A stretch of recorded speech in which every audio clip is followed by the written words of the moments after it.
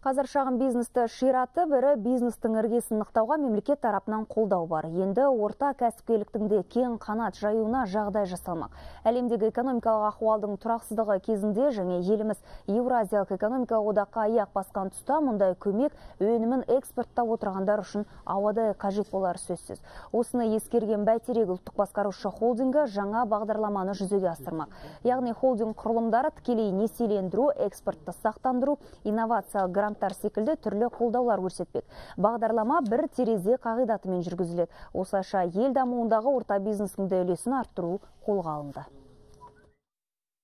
Шетелден тәуелсіз эксперттерді, яғни сарапшыларды шақырып, олар сол әр таңдап алған кәсіпорынмен бір терезе қағидаты бойынша жұмыс жасайды мүмкіндіктерін кеңейту экспортқа шығатын болса оны сол сол экспортқа шығатын елде оның кететін тәуекелдерін сақтандыру болмаса сол рынокқа кірер кезде басқа да кедергі болса соны дипломатиялық жолмен болсын қаржы жағымен жою соған көмектесу бойынша әртүрлі жаңағы сарапшылар ұсыныс береді.